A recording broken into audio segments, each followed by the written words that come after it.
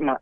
Informações do interior do estado, Juraci, tinha um jovem de 17 anos de idade, o Mário, ele estava desaparecido desde o domingo e o corpo dele, infelizmente, foi encontrado já nesta terça-feira. O Mário tinha 17 anos, como eu falei anteriormente, foi encontrado já sem vida em uma, uma área de vegetação do rio Itapecuru, no povoado Santa Luzia, no município de Pirapemas, e esse jovem, como eu falei anteriormente, ele estava desaparecido desde a manhã do último domingo. Ele tinha ido votar em Pirapemas e a última vez que ele tinha sido visto foi no período já da noite, por volta das 22 horas na noite do domingo. Ele, e infelizmente agora veio informação e confirmação de que ele foi encontrado sem vida na área de vegetação do rio Itapecuru, no povoado Santa Luzia. Óbvio que agora a polícia e todas as autoridades competentes vão investigar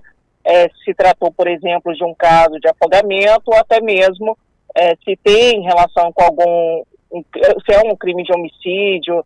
Então, tudo isso a polícia está investigando. Mas fato é que, infelizmente, o corpo desse jovem de 17 anos de idade foi encontrado é, nesta terça-feira, nessa área de vegetação no Rio Itapecuru, no povoado Santa Luzia, em Pirapenas.